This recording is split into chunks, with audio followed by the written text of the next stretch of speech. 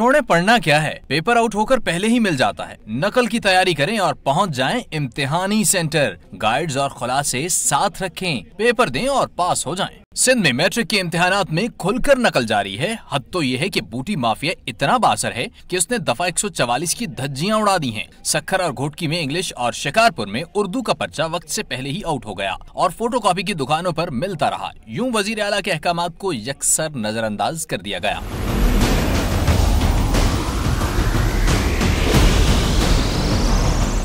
सखर, लाड़काना, खैरपुर, शिकारपुर और बदीन में नकल करने वाले बिला खौफो खतर अपने काम में मसरूफ रहे। कोई मोबाइल फ़ोन का इस्तेमाल करता रहा और किसी ने खुलासा या गाइड ही साथ रख ली। हद तो यह है कि उर्दू के पर्चे में भी नकल की जाती रही। नकल चोरों के सहूलतकार भी सरगर्म रहे। उन्होंने न सिर्फ़ इम्तिहानी मराकज के बाहर मजमे लगाए रखे, बल्कि अपने साथियों को नकल का मवाद भी फराहम करते रहे। इस सिलसिले में इम्तिहानी अमले और चपड़ासियों की खूब मदद हासिल रही। कनकोट में तो हद ही हो गई और पुलिस वाले भी नकल कराते रहे।